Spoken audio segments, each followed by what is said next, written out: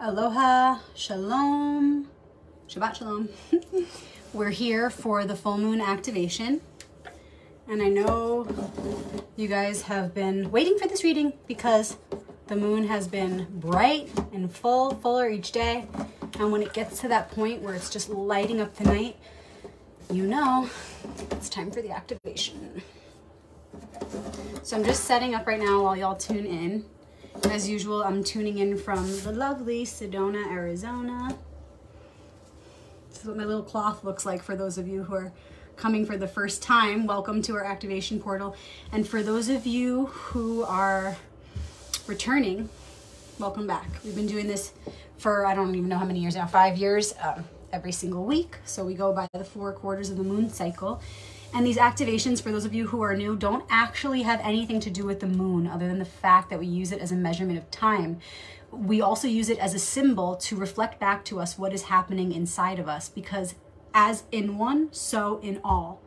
So the shape of the moon is telling us something. And really, everything around us has a message if we can tune in, but the moon is a most obvious one that we all can see very clearly, especially when it's full. So let me know in the comments where you're tuning in from. I see some people already have begun doing that. Australia is in the house. We have another Arizonian in the house, Tucson, Arizona. What's up? So I got my cards out. I'm going to begin shuffling. So good to see you guys tuning in.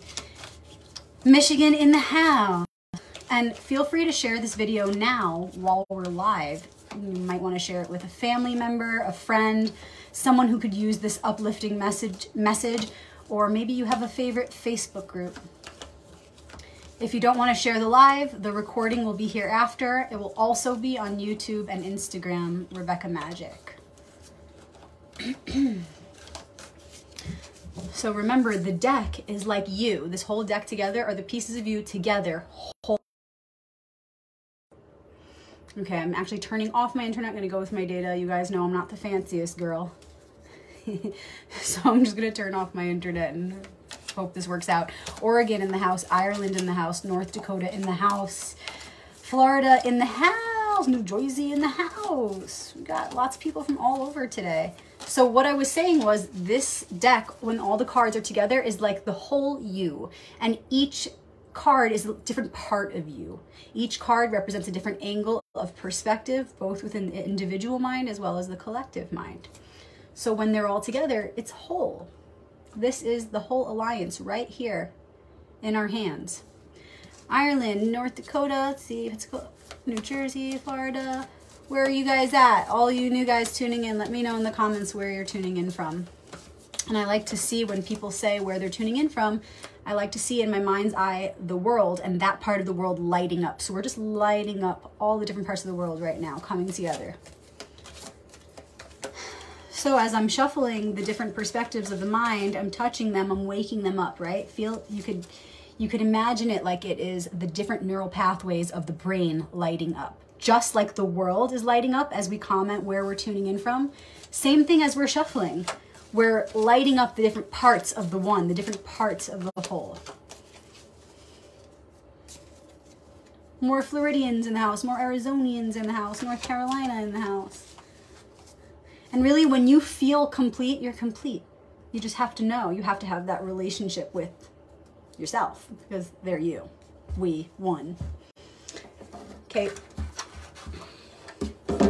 Taking out now the Hebrew deck. A lot of you have been asking me where I got this or how to get one. I made it by hand. I laminated it. I wrote the letters freeform, scanned it, all that good stuff. So I'm hoping to have some decks produced for y'all sometime in the future and I'll let you know. I promise I'll let you know when I have them ready. But that's where I, got them for myself. I made them. and the Hebrew cards work the same way. The letters of the Hebrew alphabet are just like the tarot. Same thing. They each represent a different archetypal concept or a different aspect of self. Because we are the archetypes. So thank you in advance to the archetypes, faces of the one. Thank you, every one of you. Thank me, thank we. We are the archetypes. We are one. So giving thanks to that one in advance for the message about to come through. And remember, it's the full moon. So this is all about a revelation. Coming to a, a pinnacle within the cycle where we're realizing this is what's been going on. This is the whole picture of what's been going on, fully illuminated. And we have the week ahead of us to just take it in, take in the beauty of that picture that the full moon represents or what it's reflecting in our lives. And then next week will be the final quarter. That's when we really start to integrate all of that information. But you see, if we don't allow this special time to fully take in the picture, we rush past this part of the process and we try integrating information that we didn't even fully, presently, and wholly receive. So the full moon is not a time to integrate, it's a time to really gaze upon the wholeness of the message that is presenting itself to us right now. Then next week, after we feel we've fully taken that in, we can start to integrate that, make choices based on that information so that we can close up one cycle and prepare for the week after that, which is the new moon, new cycle. Okay, so that's a little bit about full moon activation. And we are ready. Thank you. Thank we, think one. So beginning with the tarot deck, what is the current focus this week? as information comes up. I know a lot of you are talking about Mercury retrograde or, you know, uh, times of transition right now from all the different angles of perspective, all the different astrological systems of understanding. And really, everything's always changing every moment. So there's always a, a current focus, a priority focus. What is that right now as we receive the fullness of this picture? That focus is also the challenge and gift. What can we leave behind? What can we start to move out of in order to be present for this focus? And then with the Hebrew cards, as usual, we'll pull an ally of the week. And the ally is the, the most helpful force. These are all our allies, but it's going to give us the primary ally for this moment in time and space if we weren't in these bodies having this human experience, you know, we're living in a different dimension outside of time and space, it would be a different story. But because we live in this, you know, this time space reality where there's a, you know, we actually have time even, then we have the ability to pick out who is the priority one in that moment. So that's what we're doing right now. Okay. The current challenge is the devil. Oh, I love this card. I was just talking about the devil card with somebody the other day. Some of my favorite tarot conversations have been around the devil card over the years. So in ancient Egypt, it's known as the black magician. And remember, the first thing you want to do to understand the meaning of any arcanum is look to the opposite of what the card is saying. Then you get the answer, right? Because the equal and opposite force lies hidden within. That's what we always have to seek. When we look at what's there and then seek its opposite, we have the whole picture. We have everything in between. So the black magician would then be the white magician hidden within. You might want to call it the light magician. Maybe you want to call it the angel, whatever you want to call it to, to give it that opposite understanding. But the point is this we only come to these places to experience negative consequences of our choices so that we can learn and become better than we were before. Mistakes are blessings and lessons if we allow them to be, if we receive them that way. But if we're so busy, like a lot of us are, being in fear of this concept, well, then we just stay paralyzed in fear and we never move forward. But right away, when we look at this card, we want to consider the opposite so that it gives us that vantage point so that we don't start sinking into that fear, but we immediately have that that strong point when we focus on oh okay uh, whatever i'm going through right now that's this is teaching me to be the opposite. I can dig that. That makes me feel a little more empowered to be able to deal with this and to embrace it and to make the most of it right? So this being the challenge right now at the time of the full moon is saying wow we have a great opportunity to allow the light of the full moon to be representative of an inner light that is being shown upon our shadows.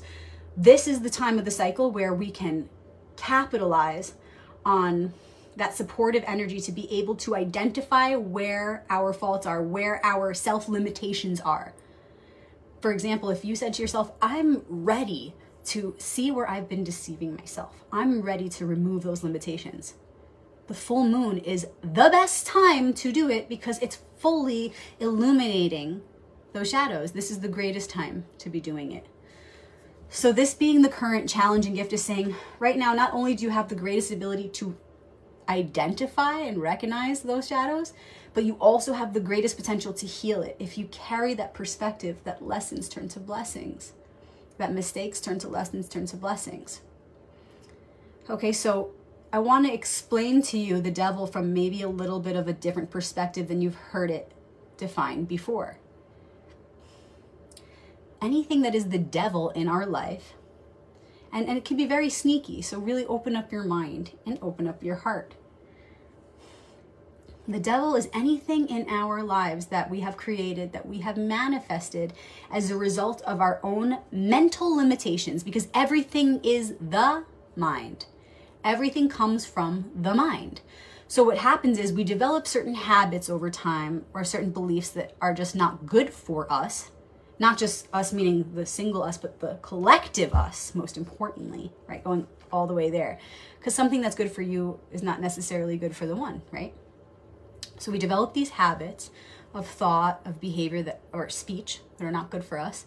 And what happens is we start to deceive ourselves through our own self observations because we become a false example. We're not being who we truly are, a reflection of the essence of our purity and our true light.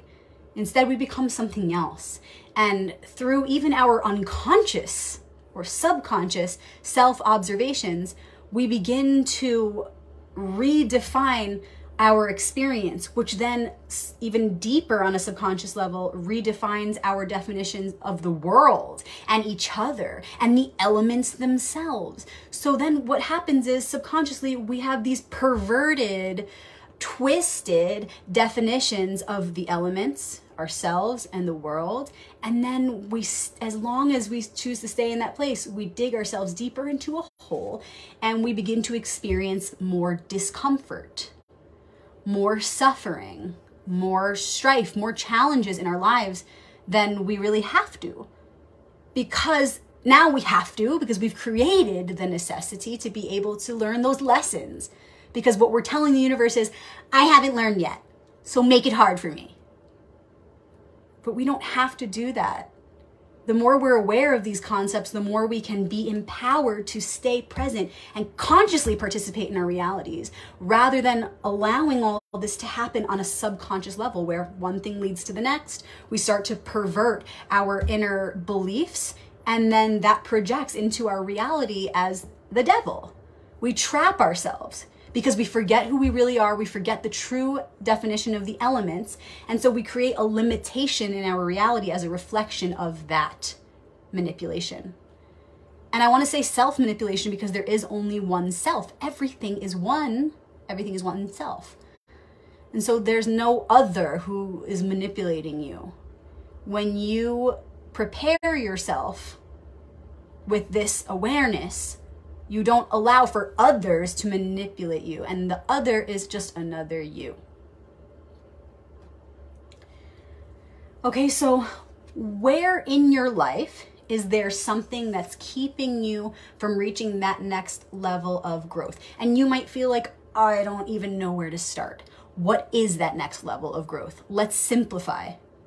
It's always about the virtues and walking a virtuous path all of our lessons come down to that those same virtues, those original principles of truth of which we are made.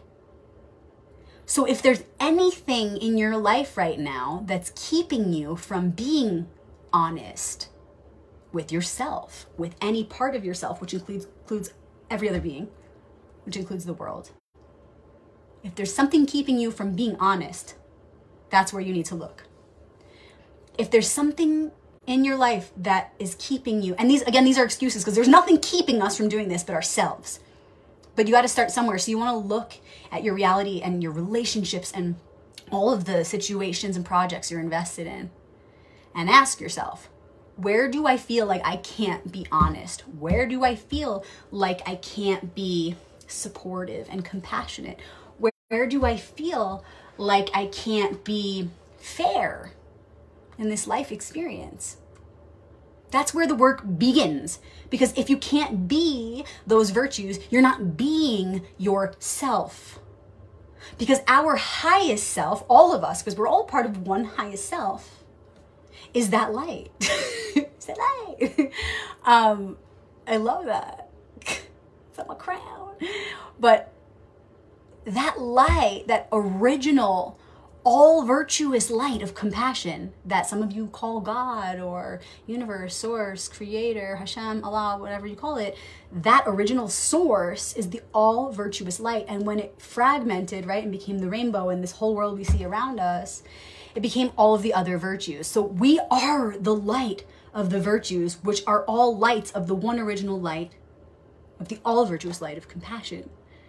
So if there's anything in your experience right now that you feel is keeping you, limiting you from being that light and any of its parts, any of its parts, any of the virtues, it's in the way of your growth. And no matter how uncomfortable it is to stop it or get rid of it or say no to it or set a boundary, cancel a path that you've been on and take a turn, right? Because remember, 15, 16 is the tower. It's about a turn of events. Time to initiate so it doesn't the rug doesn't get pulled out from under you. If there's anything that's keeping you from walking that higher path right now, it's keeping you from being your true self. It can't, I don't care what you say about, oh, but it feels so good. Oh, but it's going to bring me this temporary satisfaction. Oh, but this, that. Nothing is going to bring you the feeling that you get when you're walking a virtuous path, like embodying the virtues themselves. Nothing is going to bring you to that level of pleasure like the virtues do. So we deceive ourselves and we tell ourselves that we want to stay here in this comfortable place. We're even willing to look past all the ways in which it's causing suffering, not only in our worlds, but in our shared world. We're willing to look past all that because it feels so good.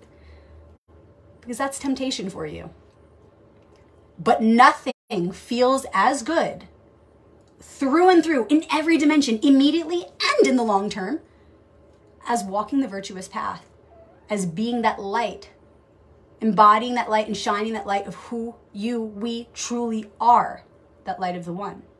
There is nothing. So, whatever it is, if it's keeping you from being that, it's time to stop it. Remember, 16 comes next, the tower. It's gonna happen. Why are you gonna waste your time?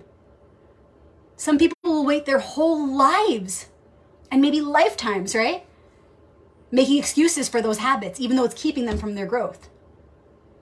But why? Why wait when you know the inevitable is coming, that the tower has to fall?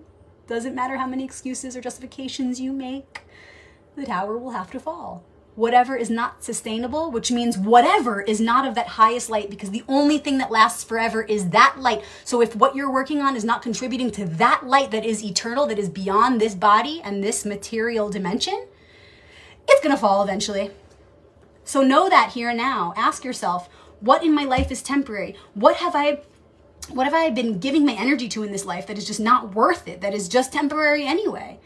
And how can I make even my material experience a ritual to feed that light that is forever? So what I mean by that is instead of giving into bad habits and giving your energy to these, you know, bad ways of thinking, speaking, acting, ask yourself, how can I make some changes in my life to treat my relationships and all the situations I'm invested in as opportunities to be more virtuous, to be more honest, to be more vulnerable, to be more caring, to be of service. Because what I do when I do those things, when I embody that light, is wow, so powerful. It's the whole reason we came here. Because when I do that, I am ensuring that that light is going to continue on, that I'm feeding something that is eternal. And I will instantly feel activated and full of purpose and empowered by having those virtuous thoughts, by, by speaking those words of virtue, by doing acts of kindness, goodness, service. And the more we do that, the more our life, and not just our life, but our shared collective life will flourish. I also want to point something out because I said temptation, right? When you see the devil, you think temptation, right? Look, the devil's lighting his tail on fire, right? A couple things I want to say about that. Whenever you have a double digit card in the tarot, you always want to reduce it to a single digit to find the key note of that theme because they're connected. This is the evolution of the keynote, okay? So when you reduce 15, you get a 6. 1, 5, 1 plus 5 is 6. The sixth card in the tarot, Arcanum 6, is the Lovers, aka the two paths. And it depicts, it actually looks really similar if you hold them up side to side. There are a lot of similarities. It shows, however, an archangel. It shows the archangel Raphael. It shows male and female. You can call them Adam and Eve because it's showing a scene of Genesis from the Bible, Torah, and it's showing the tree of knowledge and the tree of life in the background. It's even showing behind Adam, behind the man, the tree is on fire. So hold them up if you have your deck, you guys. You'll see the similarities. And card six, the lovers, aka the two paths, is all about choice and duality, making choices in a world of duality, accessing our free will to hopefully make the best choices. And then the devil is the result of those choices. It's the evolution of those choices. And there are inevitably going to be lessons with every choice that we make. So it doesn't have to be scary. It's just saying like, okay, now we have manifested the result of the choices. Time to make new decisions to call in new experiences. That's all, so that we can keep growing. In fact, each tarot card is associated with a different part of the alchemical process, the creative process. And this card is associated with the heat being turned up in the alchemical furnace. Time to learn what we came here to learn. Time to speed the process up here. Time to learn. Let's learn from our choices. Let's not pity ourselves or victimize ourselves because now we're sitting in the results of our choices, our karma, whatever that looks like, but let's refine. Let's realize, let's reconnect to our original decisions and understand how we got here. Let's connect our prayers to our manifestations. Let's accept our lessons, turn them into blessings, and do it now. Let's not wait for the tower to fall. Let's know that no one pulls the rug out from under us. There's only one self. So let's pull the rug out from under ourselves right now. Let us not fear that change of events that is inevitable and must take place, but let us accept it and embrace it as our highest good and initiate that now. Let's go. Let's go. Put the ta- fire on our own tail, put the fire on our own butt. Don't wait around for someone else to do it. That's not honorable. That's not why we came here. We came here to access our free will. So, for example, if some of you are feeling more on the challenging end of this and you feel like you're shit, like I made some bad choices, oh my God, how did I get here? Don't pity yourself. Understand how your free will and your decisions brought you here. Accept the circumstances and accept that at least it was your free will this whole time. There's a silver lining. You had the power all along because you're a child of the one. You're connected to that one infinite source. So now, with that knowledge, no matter where, no matter what the consequences are that you're sitting in right now, you have the power in your hands and in your heart. Instead of having self pity and getting stuck now in your karma, take responsibility, take accountability, fire up that free will, and make better choices. Okay? Look at the ways in which you've fallen off the path. Know you have the power to get right back on. Also, know this the choices you make in bravery right now, with courage, the choices that you make to say no, to choose a new path, to do what's right, despite the discomfort, especially the more discomfort, the better. Those choices you make to change right now, that's brave. It takes a lot of courage. And it's powerful. And you will be doubly rewarded at this time. Your efforts will be matched by the universe if you do this work. Now is the time. Okay, and remember, it could be sneaky for some of us. You know, we're on the more challenging end. For some of us, we're more on the gift end, and so that means for some of us, we're really struggling to let go of these comfortable places that we're in that are doing nothing for us. And for some of us, we're feeling like, oh, I'm doing, I'm doing pretty good. Maybe it's a little bit easier to make those changes. Maybe you have more support around you, encouraging you to make those changes. So think about it. If you're on the more challenging end, how can you get yourself that support that you need to make this time a little easier, to make this time a little great, more graceful? The first thing I want to share is the number one thing I want to share is remember to connect to the elements, the magic of the elementals. You are made of the elements. Don't forget the magician at the very beginning. You are still that. That's still one of your allies. A part of you that you always walk with.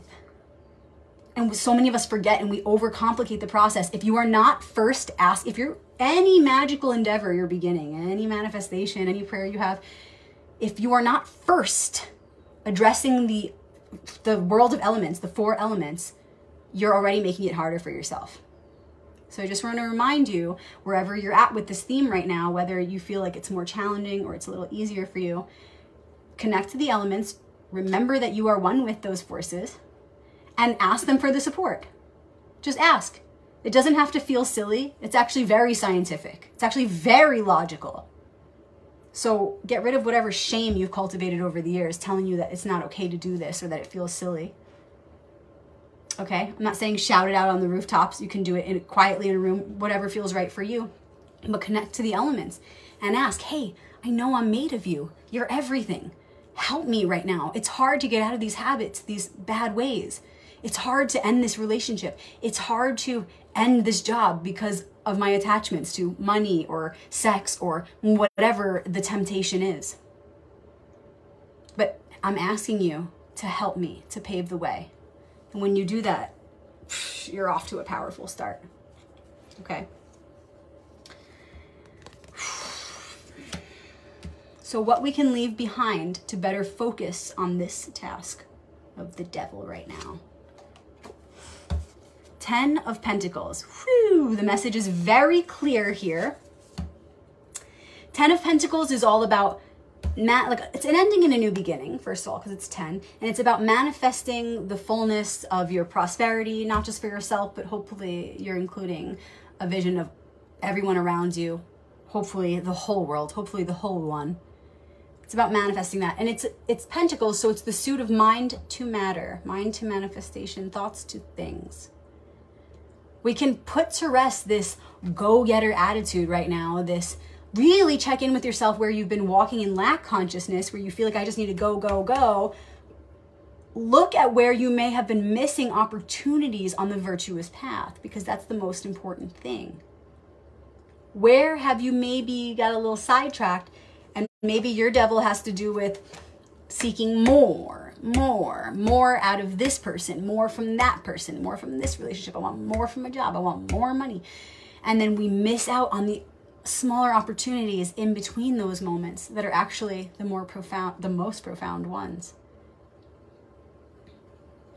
Okay, so how, how can we shift from that? One way that you can work with the energy to begin to move toward this is by, and this is guaranteed to work, is if you take that motivation to want more, reconnect to the collective of which you are a part, and want more for that collective. You can immediately shift your life experience when you do this. When you recognize where you've been wanting to serve self and not self. If you can take that motivation you have for prosperity right now and, and direct it straight toward the collective, so whatever it is you've been trying to manifest, ask yourself, is this for the one? Or not. If it's not, change your goal because your your your your pursuit is futile. Period. But if it is for the one, how can you affirm that? How can you speak that? How can you be more intentional? How can you say instead of "Hey universe, I want this thing," say "Hey universe, elementals, help me out. I would really love I see myself in manifesting this for us because it's going to help us, the one, the world in in in this way or that way." Connect what you're trying to manifest to the one, which immediately aligns your heart with the heart of nature and the cosmos. It immediately puts you on that virtuous path because you're you're thinking of the one, you're not just thinking of yourself. When magic is used for self, for the smaller self, it's selfish and it doesn't work and you, you get cut off from that source of power ultimately. But when you direct your manifestations and your desires for the will of the one, then you are plugged in, baby. You're plugged into that source. You are activated as much as you possibly could be. And that's where we want to be ultimately. That's where that's the only place we all want to be all the time. So one way you could start to move out of that energy of go go go and manifesting for the self is to say I want that prosperity for the one. Get into that space. Get into that space.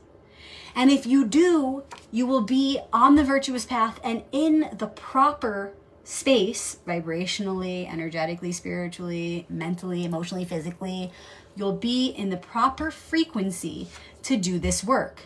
Because if you're in that selfless service space, you cannot resonate with the negative thoughts, words, or actions that have been going on in your life. You, you can't. It's impossible. But if you're self-serving and you just got your eye on the prize and the money and the temporary prosperity, the temporary prosperity only, oh, you're very well likely to be stuck in that place even more, to dig yourself in even deeper. So it's saying, hey, take a rest on trying to do all these things for just yourself or even just for one person. How can you stretch your mind and stretch your heart to be intending on manifesting prosperity, which is wellness, which is health, which ultimately is immortality for the one, for the whole.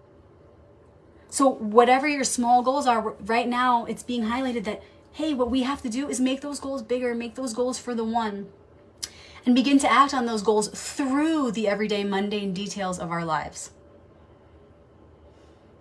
Okay, so we want to go all the way from, I want to make some money and, and be prosperous, you know, this week. This week, I want to get, you know, a lot of tips at my job, right? We want to go from like that to whatever I manifest this week, let it be for the one, let it be a blessing to this world, let it bring us closer to heaven on earth. Wow, that seems like a tall order, right? Not really. You can bring heaven to earth right here, right now by being yourself. And what does that mean? By being the light. And what does that mean? By embodying any of the virtues, because they're all fragments of that one all virtuous light of compassion. So don't tell me you don't know how to bring heaven to earth right now, or that's too hard. Not true. You can do it right here, right now. And you don't have to stop, you know, things that aren't hurting anyone. If, if you have a job, if you have a desk job, that doesn't mean you're not serving the one. Are you able to be a virtuous person at that desk? Good job. You're bringing heaven to earth. It's not some big show. When we all do it together, yeah, it starts to be a big show. It starts to be amazing. We start to see the world that we've been working so hard to manifest for lifetimes.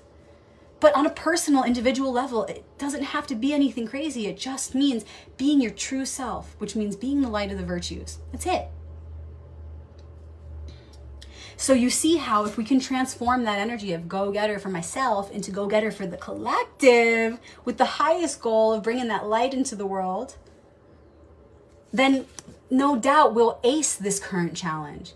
We'll blast through those limitations. We'll let that tower fall right here, right now, because we are so ready for it, because we're resting in that space of knowing that when I am that light, an embodiment of that light, and I have the mission of manifesting prosperity in the image of that light, then I don't care about those stupid habits or places that yesterday were so comfortable and tempting, because this is so much more fulfilling to be working to manifest goodness and light in this world. Oh, it feels so good. Forget it. We'll forget about all this crap that we've been feeding into.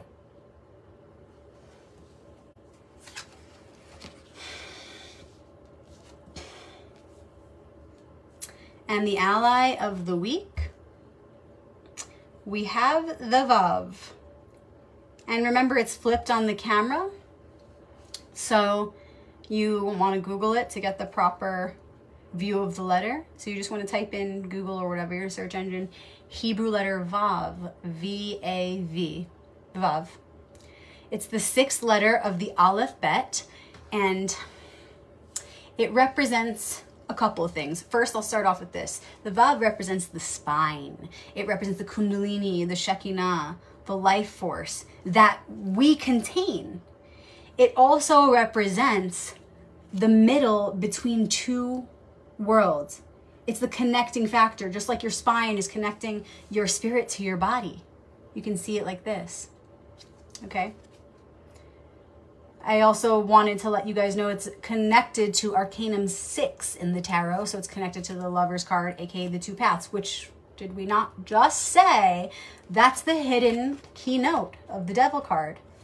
15. 1 plus 5 is 6. Vav. It's connected to the lovers, aka the two paths. So it's all about our choices and our free will, just like card six says, right? But the Hebrew opens up a door. It opens, as it always does, it opens up your mind and your heart to the bigger picture, to the deeper initiation that the tarot is trying to convey.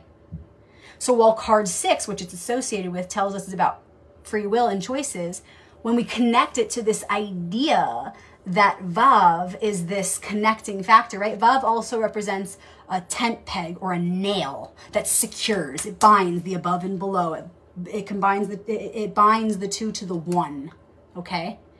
Um, so when you consider that meaning, along with the meaning of card six in the tarot.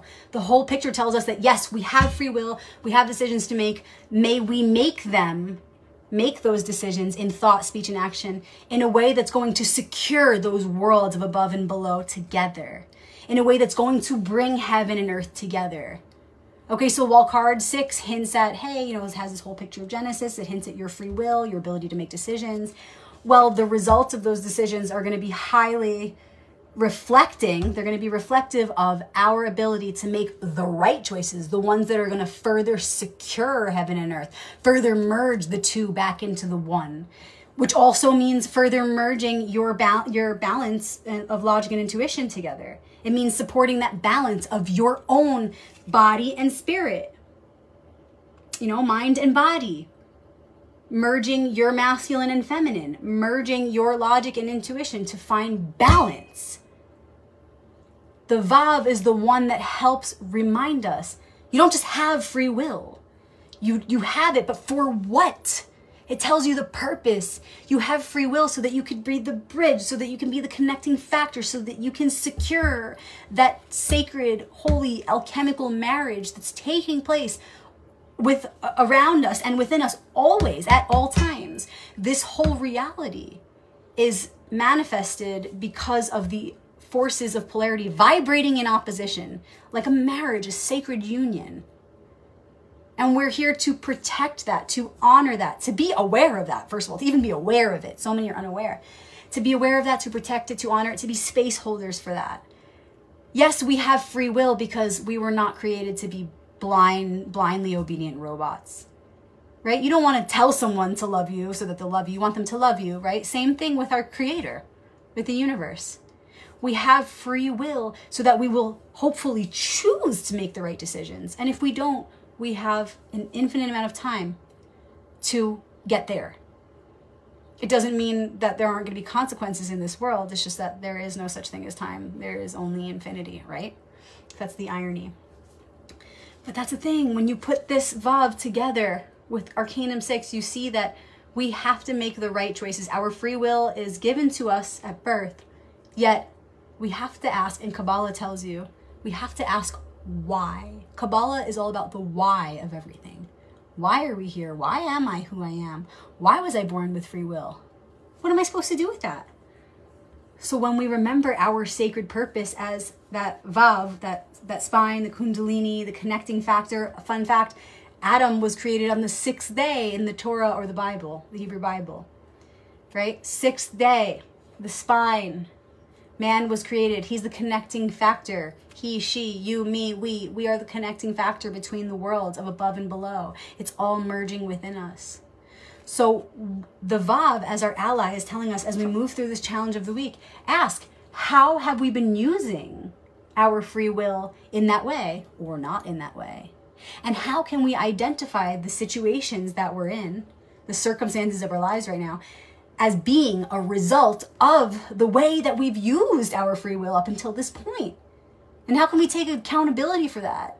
And how can we, instead of becoming stuck, just remember who we are and get back on the path and begin making choices in thought, speech, and action that are going to further secure those worlds of above and below, that are going to further support the merging of those forces of polarity within us. We all want balance. We all want to feel balance within. We all want to see a, a, world of harmony without as a result. Well, if you want that, you have to remember the Vav, your spine, your Kundalini, your life force, your Shekinah, your spirit that is inside of you. You have to want to merge with that. So all of our thoughts, words, and actions should support that merging within and all around. Wherever we're stuck right now, it's just an example of how we've been abusing that free will and just not using it appropriately. So just start now. Start now. What do you have to lose? Only all the negativity and suffering and disease in your life. That's what you have to lose. So reconnect to your spine, to that staff of wisdom within you. Let it remind you of your purpose. The Vav is our ally of the week. It will help us to do this. Okay? Another interesting um, connection is that the devil can be seen as like a like a staff or a supportive force because it's it does support you know although it can hurt us and leave us temporarily with a limp it's actually also the staff that holds us up and carries through the rest of the way because our challenges if we allow them become our support along the path. They become our wisdom along the way. So when you think of your spine and you think of a staff think of whatever's in your life right now that is the devil is is is just going to further add to that as soon as you can come back to remembrance of the truth of who you are and why we're here. Devil will only support. So you can choose to victimize yourself right now, or you could say, "Oh, I see how the, this was all only to bring me back to myself, stronger than ever before, to give me the wisdom that I need to keep going."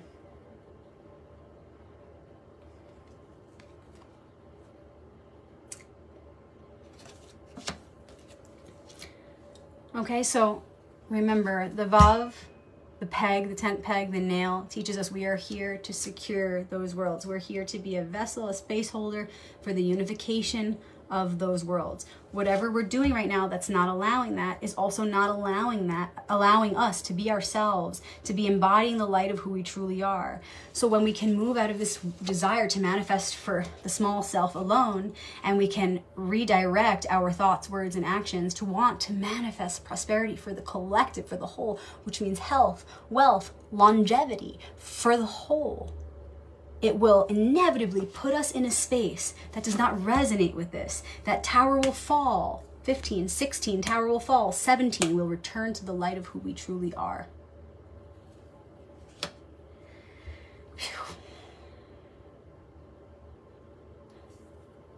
It's awesome. And I'm just looking at the play of numbers, and you have the 15, the 10, and the 6, right? So you have 15 and you have 10 and 6. When you add that together, it's 16. It's giving us a hint at our progression. We're going to move from the devil to the tower. So, how can you anticipate that now? How can you see a little bit into the future, knowing it's not created yet? We're creating it here and now with all of the choices that we make. Choices, free will. But how can you be honest with yourself and ask, what is that tower going to look like when it falls? And instead of giving into thoughts of fear, accept it, know that it's inevitable, it has to happen, and start sinking into that vision. Start leaning into that vision, really see it and feel it, and connect your knowing, your awareness that is for, that it is for the highest good for that tower to fall. Right here, right now. Balance the scales, okay? The scales are like this. The, the side of fear is heavier. Oh God, it's even on, an, on a subconscious level, you may have been afraid of this inevitable shift but let's eliminate that fear by inserting the awareness and consistently carrying the awareness that it has to happen. So I'm going to see it right now. And while I'm seeing it, I'm going to hold that awareness that it is for the highest good.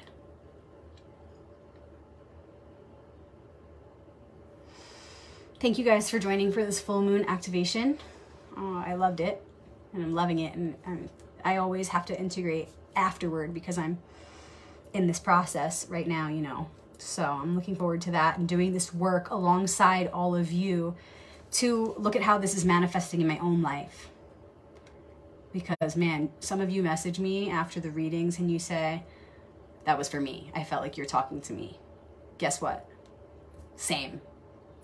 I'm talking to myself. There really is only one. I know that. I believe that. I see that. I receive that. So I too feel like this reading is just for me. I'm feeling like all of you are feeling right now. If you really enjoyed this reading, if you've been coming to these activations, please consider leaving me a review on my Facebook, facebook.com slash royalpathtarot. There's a section where you can review and leave a number of stars for your review. Uh, if you've been reading my book and you want to review my book, thank you so much. Books one and two, whichever you're into right now. Please review it. Let me know your thoughts. You can send the review to me in a private message or in an email, info at royalpathtarot.com, or you can share the review on Amazon if you'd like. These are my books, Royal Path 1 and 2. If you've never seen them before, please reach out and ask me if you have any questions. The first one is on the major arcanum of the tarot. It includes the proper Hebrew letter correlations not the manipulated version that you find in almost every tarot book today. It also includes personal questions that you want to ask yourself when you're at any particular part of the story or if you do a reading for yourself, for example. Or even if you don't do a reading and you just you're identifying with a certain card, there are questions that go with that archetype to get yourself more deeply into the frequency of the higher aspects of that archetype. And then book two is on the minor arcanum, so the rest of the deck, as well as the elemental suits. I give a new way of looking at the elementals beyond manipulation. So let me know if you're interested in either of these. Private message me, email me, reach out. I am booking one-on-one -on -one readings right now. So if you haven't heard back from me, just give me a gentle reminder. Things have been a little busy. Um, and if you've been wanting to get a reading, now is the time if you have a friend with a birthday coming up or the holidays are coming up and you want to give a reading, you know, we have the high holy days uh, in the Jewish faith coming up. If you want to give the gift of a reading to somebody, it truly is the gift that keeps on giving. It's so empowering, and they walk away with tools that are going to serve them for literally forever because these archetypal themes are timelessly and multidimensionally applicable. So they make great gifts. Reach out if you have any questions about that. I also have a tarot video course online. Each class is an hour to 90 minutes long, and there's a class on each of the major arcanum cards. So reach out if you're interested in that. And then the last thing is I've got two private groups on Facebook. One is called the Archetypal Alliance. Feel free to join us there. The other one is called Shabbat Crew, S-H-A-B-B-A-T Crew. You can find them on my page here on Facebook, Royal Path Tarot. They're private groups. Feel free to join. Um, in Shabbat Crew, we share about Jewish mysticism and Kabbalah. It's for anyone. And my passion in that group is to convey how Torah and tarot really are one, but where the tarot is more about the timeless messages, the Torah takes those timeless messages and makes them applicable to this time space reality that we're living in, to, to this human experience. So the Torah holds keys just just like the tarot does. They're literally one. Okay, so it's based on the cycles and seasons of nature, just like the tarot. So let me know if you're interested. Reach out with any questions. Thank you guys so much for being on this journey with me, with each other. Many blessings to you as you move through this part of the process and each part of it. I'll see you next week for the final quarter and we will wrap it up. Peace.